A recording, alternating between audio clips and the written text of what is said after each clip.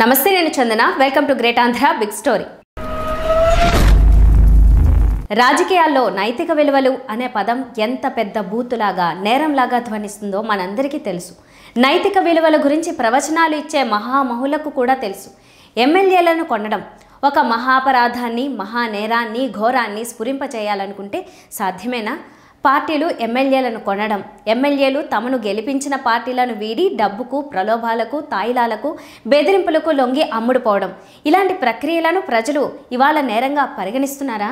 ఈ సకల చరాచర సృష్టిలో ఇలాంటి సకల ఘనాఘన అకృత్యాలకు ప్రజలు అలవాటు పడిపోయారా? రాజకీయ వ్యాపారంలో మారుతున్న పోకడలపై గ్రేట్ ఆంధ్ర విశ్లేషణాత్మక స్టోరీ. తెలంగాణ ముఖ్యమంత్రి తేనె తుట్టెను కదిపారు. మా హైదరాబాద్కు వచ్చి మా ఎమ్మెల్యేలనే కొంటారా అని హూంకరించారు. ఎమ్మెల్యేలను కొనాలనే ప్రయత్నం ద్వారా ప్రజాస్వామ్యాన్ని హత్య చేస్తున్నారని రంకెలు వేశారు. దేశంలో ఎక్కడెక్కడ ఎమ్మెల్యేలను కొన్నారో ఎంతెంత సొమ్ములు ముట్టజెప్పారో ఏదో తనకు తోచిన లెక్కలను కూడా నివేదించారు. మొత్తానికి వర్తమాన రాజకీయంలో తమ పార్టీలను బలోపేతం చేసుకోవడానికి ప్రత్యర్థి పార్టీలను బలహీనపరచడానికి ఎమ్మెల్యేలను ప్రజాప్రతినిధులను కొనుగోలు చేయటం అనే టాపిక్ తెర మీదకు తెచ్చారు. భారతీయ జనతా పార్టీ అలాంటి అరా అరాచకానికి ఏ రకంగా పాల్పడుతున్నదో విడమరచి ఆక్రోశించారు. తమ పార్టీ ఎమ్మెల్యేలను కొనటానికి బీజేపీ తరపు వ్యక్తులు ఎన్ని గంటల పాటు ఎలాంటి బేరసారాలు చేశారో ఏ ఏ మాటలు చెప్పారో ఎవరెవరి పేర్లను ప్రస్తావించారో అదంతా కూడా ఆడియో వీడియోల రూపంలో మీడియా ఎదుట పెట్టారు. దేశవ్యాప్తంగా న్యాయమూర్తులందరికీ పంపారు. మొత్తానికి ఎమ్మెల్యేల కొనుగోలు అనే వ్యవహారం హాట్ టాపిక్గా తెర మీదకు వచ్చింది. సబ్జెక్ట్ ఏంది అంటే నిన్న వస్తుంది మీరు చూసుకోండి మీరు. ఈయన బేరం చేసి ఆ తుషార్ అంటే ఆయన అహ్మదాబాద్లో ఉన్నాడు. ఆయన అమిత్ షాతో మాట్లాడుతున్నాడు. సంతోష్తో మాట్లాడి క్లియరెన్స్ ఇచ్చేసిండ్రు. మీకు పైసలు పేమెంట్ అయిపోతుంది. మీరు వినిరు మీ దాంట్లో ఉంటుంది. మీకు ఇచ్చిన దానిలో ఉంటుంది. ఇక్కడ టైం వేస్ట్ చేసుకునే బదులు మీరు కూడా ప్రజల్లోకి తీసుకెళ్ళాలి కాబట్టి ఇదంతా పోతుంది కాబట్టి దేశం అంతా ఈ విని కూడా గంట బాబు సేపు ఉంది అది దాదాపు నాకు తెలిసి. కష్టపడి చేసిండ్రు. ఇది ఏంది? ఇది మొత్తం ఎపిసోడ్ యొక్క మినీ. ఆ మూడు గంటలు ఉన్నటువంటి దాని యొక్క మినీ. మూడు గంటల ఇప్పుడు హైకోర్టు ఉంది. మీరు కావాలంటే వెళ్ళిన అప్లికేషన్ పెట్టి కూడా తీసుకోవచ్చు. మేము మీడియా హౌసెస్ కూడా పంపిస్తున్నాం. దానిలో మీకు కూడా వస్తుంది అందరికి. సబ్జెక్ట్ ఏంటంటే మేము అంత రెడీ ఉన్నాం. ఆయన మాట్లాడండి ఫోన్లో. ఎవరు? ఈయన.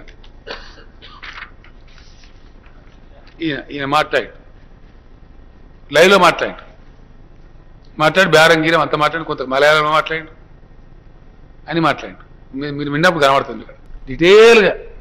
అది వీడియో కాబట్టి మీరు కూడా మీ ల్యాప్టాప్లో చూసుకోవచ్చు. మీ ఫేస్బుక్లో డౌన్లోడ్ చేసి చూసుకోవచ్చు మీరు రకరకాలు చూసుకోవచ్చు. మీ ఐప్యాడ్లలో కూడా. మీకు పూర్తి క్లారిటీ వస్తుంది. కంప్లీట్ సంపూర్ణమైన క్లారిటీ వస్తుంది. ఇక మీడియా హౌసెస్కి పంపించే ప్రాసెస్లో మన స్టేట్లో ఫస్ట్ పంపమన్నాం మీ యొక్క టీవీలకు ఎలక్ట్రానిక్ మీడియా కూడా పోతా ఉంది. ప్రింట్ మీడియా కూడా పోతా ఉంది. బహుశా పోయి ఉంటుంది ఈ పాటికి. పంపిస్తున్నారు అన్ని ఏర్పాట్లు అయిపోయింది నెంబర్ ఆఫ్ కాపీస్ ఎక్కువ కాబట్టి పంపుతున్నారు. నేను నెల మిమ్మల్ని కోరేది ఒకటే దయచేసి.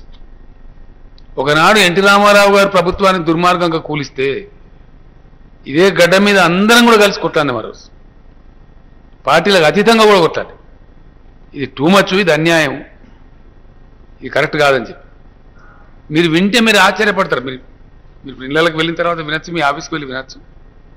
ఎంత భయంకరమైన దగ ఎంత భయంకరమైన కుట్ర.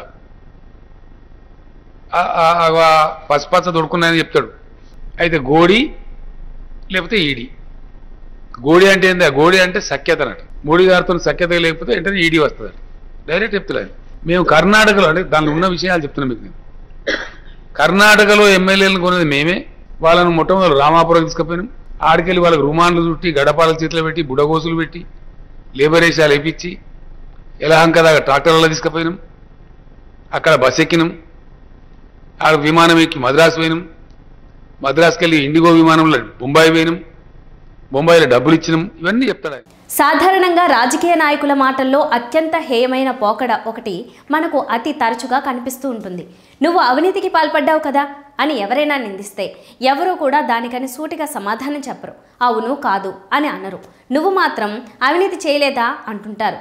అదృష్టవశాత్తు ఈ సందర్భంలో భారతీయ జనతా పార్టీ తరపు నుంచి ఈ వ్యవహారంలో డిఫెన్స్ వినిపించే బాధ్యత తీసుకున్న కిషన్ రెడ్డి కానీ ఇతరులు కానీ అలాంటి చెత్త మాటలు మాట్లాడడం లేదు. అసలు ఇదంతా కల్పితం అనే వాదనను మాత్రమే ఆశ్రయిస్తున్నారు. అంతవరకు సేఫ్ గేమ్ ఆడే ప్రయత్నంలో ఉన్నారు. ఎవరు నాటకం స్క్రిప్ట్ రచించారు లేదా ఎవరు బేరం నడిపించారు అనే సంగతులు తేలడానికి ఇంకా చాలా కాలం పట్టొచ్చు. కానీ నీ సంగతి ఏంటి? అనే ప్రశ్న ఈ సందర్భంలో ప్రస్తావనార్హం కాకుండా పోదు. తాను చేస్తే శృంగారం పరులు చేస్తే వ్యభిచారం అన్న సామెత చందంగానే ఉంది కేసీఆర్ మాటల తీరు. తెరాస ప్రభుత్వం ఏర్పడిన నాటి నుంచి కేసీఆర్ చేసిన పనుల సంగతేంటి? ఒకవేళ ఎదుటివాడిని చూపిస్తే మిగిలిన నాలుగు వేళ్ళు తన్నే చూపిస్తుంటాయనే ప్రాథమిక నీతిని ఆయన ఎలా మర్చిపోతున్నారు? ఎంత కన్వీనియంట్గా మర్చిపోయి ప్రజాస్వామ్యం హత్య గురించి ఇవాళ శుద్ధులు చెబుతున్నారు అని గమనిస్తే చాలా ఆశ్చర్యం కలుగుతుంది.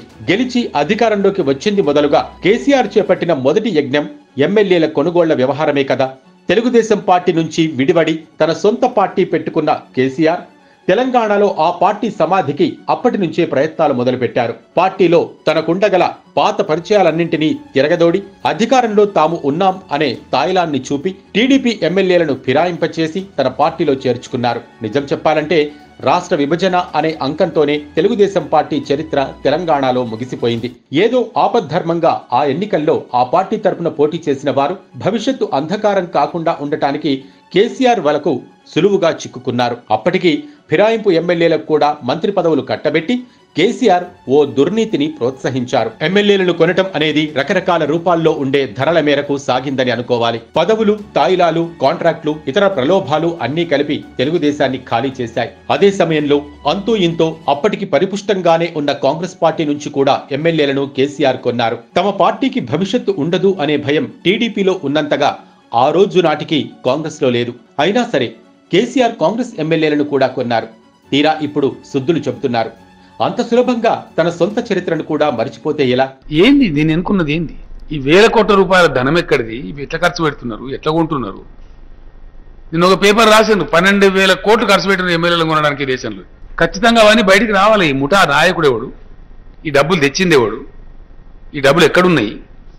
అందుకే నేను మరీ మరీ మరీ మరీ దేశం యొక్క న్యాయ వ్యవస్థతోని దండం పెట్టి రెండు చేతులు ప్రణమిలి చెప్ప అడుగుతా ఉన్నాను ఐఎమ్ రిక్వెస్టింగ్ ఎప్పుడు దేశం ప్రమాదంలో పడ్డా ఈ దేశాన్ని కాపాడింది జ్యుడిషియరీ తప్పకుండా కాపాడింది.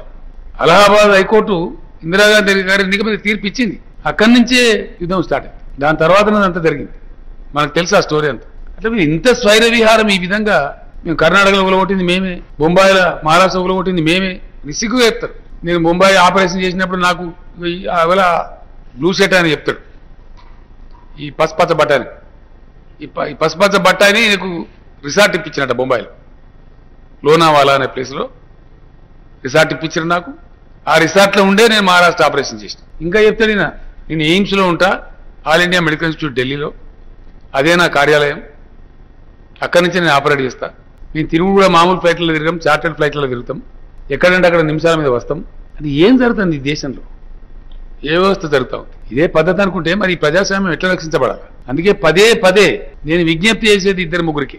ఒకటి భారత న్యాయ వ్యవస్థకు నేను చేతులెత్తి మరొకసారి I humbly pray the judicial system of India to kindly protect democracy in the country please for God's sake the democracy is gone everything is gone people will lose confidence our nation will be lost ప్రపంచంలో మంచి చెడు వేర్వేరుగా ఉండవు. అవకాశాన్ని బట్టి చెడ్డతనం అవసరాన్ని బట్టి మంచితనం బయటకు వస్తుంటాయని పెద్దలు చెబుతుంటారు. అధికారం ఉన్న వాళ్ళు కొనడం అధికారం లేని వాళ్ళు అమ్ముడుపోవడం అంతే సాధారణ సిద్ధాంతంగా రాజకీయాల్లో మారిపోయింది. వీటి మంచి చెడులను బేరీజు వేయడం ఎలా సాధ్యం? అధికారంలోకి వచ్చిన అందరూ అదే పని చేస్తూ వచ్చారు లేదా అధికారం కోసం చేస్తూ వచ్చారు? అనైతికంగా ఇలా పార్టీ ఫిరాయించిన నాయకులు అందరూ కూడా నియోజకవర్గ అభివృద్ధి కోసం అని ఒకే ఒక రిపీటెడ్ కథ చెబుతుంటారు.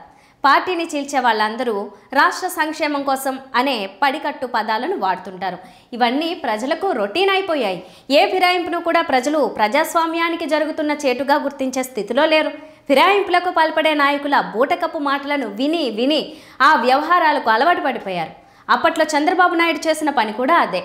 తాను అధికారంలోకి వచ్చినప్పటికీ కూడా ప్రత్యర్థి వైఎస్ఆర్ కాంగ్రెస్ను తొక్కేయాలని తలపోశారు. అందులో ఉండే విషపురుగులందరినీ చేరదీశారు. ఫిరాయించి వచ్చిన ఎమ్మెల్యేలకు మంత్రి పదవులు కూడా ఇచ్చారు.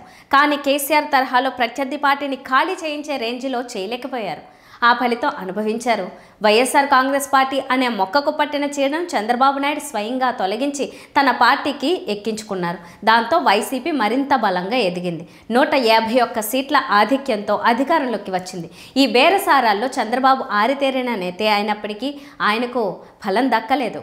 ఒక పార్టీ అధికారంలోకి వచ్చిన తర్వాత విపక్షం నుంచి వారిని ఆశ్రయించడానికి వచ్చే ఎమ్మెల్యేలు బోలెడు మంది ఉండటానికి ఛాన్స్ ఉంది. పార్టీలు కూడా నిస్సంకోచంగా నిస్సిగ్గుగా వచ్చే వారందరినీ చేర్చేసుకుంటున్నాయి. కానీ అలా వచ్చిన వారిని పార్టీలో చేర్చుకోకుండా మీరు గెలిచిన ఎమ్మెల్యే పదవికి రాజీనామా చేసి వస్తే తప్ప తమ పార్టీలో చేర్చుకోను అని నిజాయితీగా చెప్పగలిగిన నాయకుడు జగన్ ఒక్కరే. వైసీపీ అధికారంలోకి వచ్చిన తర్వాత ఆయన్ను ఆశ్రయించిన టీడీపీ జనసేన ఎమ్మెల్యేలున్నారు. ఎవరిని పార్టీలో చేర్చుకోలేదు. వారు తనని నమ్ముకుంటే అది వారి ఆప్షన్ అవుతుందే తప్ప వారికి తాయిలాలు చూపి ఫిరాయింపచేశారు. చట్ట వ్యతిరేకంగా నైతిక విలువలకు వ్యతిరేకంగా చేశారు అనే అపప్రద తనకు ఎప్పటికీ రాకుండా జగన్ అన్ని జాగ్రత్తలు తీసుకున్నారు. టీఆర్ఎస్ ఎమ్మెల్యేల కొనుగోలుకు ప్రయత్నం జరిగిందనే ఎపిసోడ్ను ఉద్దేశించి ప్రజాస్వామ్యాన్ని హత్య చేస్తున్నారని కల్వకుంట్ల చంద్రశేఖరరావు ఆక్రోశం వ్యక్తం చేశారు. ఆయన మాటలు వింటే హత్య ఇప్పుడే జరిగిందా? ఇప్పుడు ఎన్నికల రూపేణా కానీ ఎమ్మెల్యేల బేరసారాల రూపేణా కానీ జరుగుతున్న క్రతువులన్నీ ప్రజాస్వామ్యపు పార్థివ దేహానికే కదా అనే అభిప్రాయం కలుగుతోంది. ప్రజాస్వామ్యం అంటే ప్రజల అభిప్రాయం తీర్పు మేరకు వారి ఓటు ద్వారా ఎన్నికైన ప్రతినిధులు చట్టాలు చేయడం శాసనాల్ని నిర్మించడం. అలాంటిది ప్రజల ఓటునే కొనడానికి ప్రయత్నం జరిగిన తొలి రోజునే ప్రజాస్వామ్యం హత్యకు బేజం పడినట్టు లెక్క. ఇప్పుడు పార్టీలు కేవలం డబ్బు రూపేణా మాత్రమే కాదు కానుకలు పథకాల రూపేణా కూడా ఓట్లను కొంటూ ప్రజాస్వామ్యాన్ని లేదా మిగిలి ఉన్న పార్థివ దేహాన్ని రకరకాల ఇన్నోవేటివ్ మార్గాల్లో మళ్ళీ మళ్ళీ హత్య చేస్తున్నాయి. తన ఎమ్మెల్యేలను కొనడానికని బేరం జరిగిందని అంటున్న కేసీఆర్కు తన పార్టీ తరపున మునుగోడు ఎన్నికల్లో ఒక్కో ఓటుకు కనీసం ఐదు వేల రూపాయలు ధర కట్టి ఇచ్చారనే సంగతి తెలుసా? అదంతా ప్రజాస్వామ్య హత్య అనిపించుకోదా? ప్రజాస్వామ్యానికి ఎమ్మెల్యేలు మాత్రమే మూలస్తంభాలా? ప్రజలు కాదా? అసలైన ఆయు పట్టు ప్రజల తీర్పు అనే సంగతి ఈ విజ్ఞుడైన సీనియర్ నాయకుడికి తెలియదా అనే సందేహాలు రేగుతాయి. ఒక వ్యవహారం బయటికి వచ్చిన తర్వాత దాన్ని రాజకీయంగా వాడుకోవడానికి ఎన్నెన్ని విమర్శలు చేసినా ఎంతగా కమల దళాన్ని ఇరుకున పెట్టినా తప్పులేదు. వర్తమాన రాజకీయాల్లో అది సహజం. కానీ తాను రాజకీయ సంఘ సంస్కర్తను అయినట్టుగా పరిశుద్ధాత్మ స్వరూపుడిని అయినట్టుగా కడిగిన ముత్యంలాగా ప్రజలు అనుకోవాలని కోరుకుంటేనే అతిశయం అనిపిస్తుంది. రాజకీయ విమర్శలు ఎలా సాగినా పర్లేదు. కానీ ఈ ప్రజాస్వామ్య హత్యాకాండను జాతీయ స్థాయి ఉద్యమంగా మార్చడానికి ప్రయత్నిస్తున్నట్టుగా ఉన్న కేసీఆర్ మాటలను గమనిస్తే అందుకు హక్కు అధికారం ఆయనకు లేదనిపిస్తుంది. చివరిగా ఒక్క మాట. రాజకీయం కోసం ఏం చేసినా ఓకే. దేశం కోసమే చేస్తున్నట్లు ప్రజలు నమ్మాలంటే డౌటే. ఇది వాళ్ళ బిగ్ స్టోరీ. మరిన్ని టాపిక్స్తో మళ్ళీ కలుద్దాం. నమస్తే.